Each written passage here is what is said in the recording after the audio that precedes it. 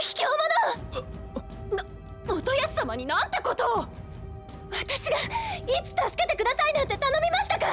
ででもラクタリアちゃんはあいつに酷使されてたんだろあなたが直文様の何を知ってるんですか。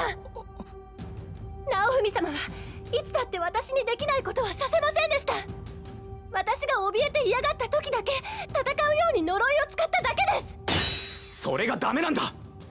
戦いは強要するもんじゃない直文様は武器が使えないんです。なら誰かが戦うしかないじゃないですか。君がする必要はない。ボロボロになるまで使われるだけだ。直文様は私を守ってくださいます。疲れたら休ませてくださいます。いや直文はそんなやつじゃ。あなたは病を患った。いつ死ぬともしれない奴隷に手を差し伸べることができますか。直文様は私が食べたいと思ったものを食べさせてくださいました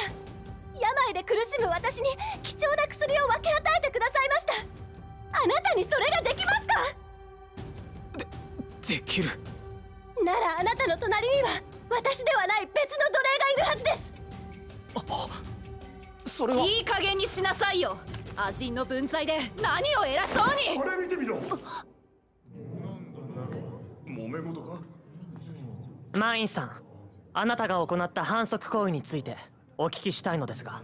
何のことでしょう？反則行為？さっきの決闘元康。お前の負けだ。誰かさんが直文に向けて魔法を放ったんだ。風魔法のようだったから分かりにくかったけどな。マイン見間違いじゃないでしょうか。周りの慣習は何も。王に黙らされてるんですよ。貴族たちの目を見ればわかります。神聖な決闘を。王族自らが汚すとはな